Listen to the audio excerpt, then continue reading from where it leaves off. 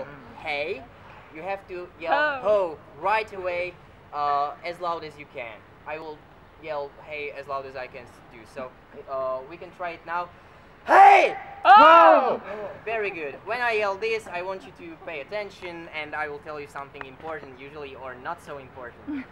uh, we, will, uh, we will start with uh, some uh, game to get to know each other. It's very simple. We'll just sit there in the grass in a big circle. Uh, I would like to ask you to stay with your nationalities uh, within the circle. Like, make a line of your nationality within the circle.